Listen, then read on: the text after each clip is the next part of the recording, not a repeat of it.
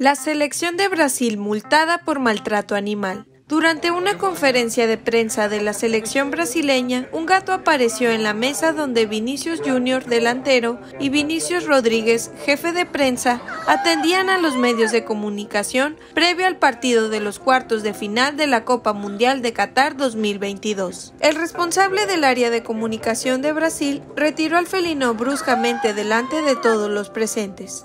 El animal no sufrió daño alguno y salió corriendo de la sala de prensa. Sin embargo, la acción de Rodríguez causó de manera inmediata indignación y polémica en las redes sociales. Unos días después de la eliminación de Brasil ante Croacia, el máximo organismo de fútbol brasileño recibió una demanda por maltrato animal.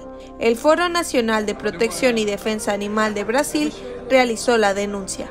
La cantidad de la demanda es de 200 mil dólares, es decir, un millón de reales brasileños se infiere que el total del dinero será destinado a causas ambientales.